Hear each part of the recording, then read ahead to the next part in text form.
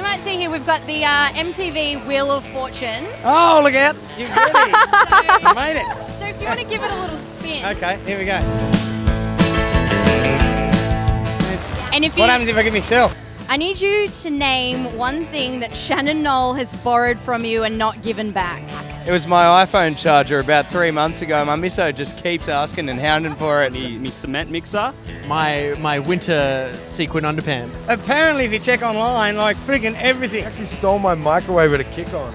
if I could get that back, cheers, mate. Hooroo. Hey. Yeah, my Steve. He took it a long time ago and it hasn't given it back. I've borrowed lawnmowers, I've borrowed whippersnippers. I do need him to give me back my, my Australian flag underpants that he borrowed from me.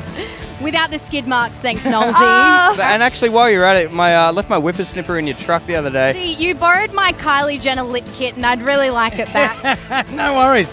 I'll, I'll get on that straight away for you. 2004.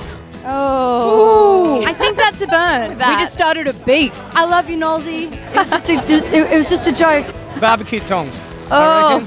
That's a classic. I. Devastating. So, apparently, it's a wife. My wife borrowed off another fella's wife, and he was asking me to get it back. So, yeah. Right, thank you so much for chatting with us. You're bloody legend. worries.